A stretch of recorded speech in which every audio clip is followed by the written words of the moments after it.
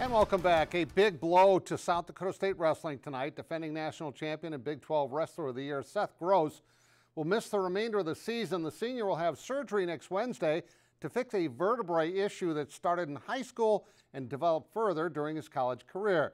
Gross made the announcement tonight on his Twitter page.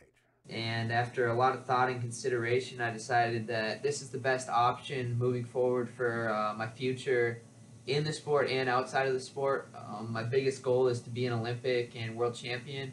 And to do that, I feel that this is something I need to deal with right now and let, instead of uh, prolonging the issue and making it worse. Gross said he plans to apply for a medical red shirt with hopes of wrestling in the NCAA tournament next year. Needless to say, we all wish him a speedy recovery.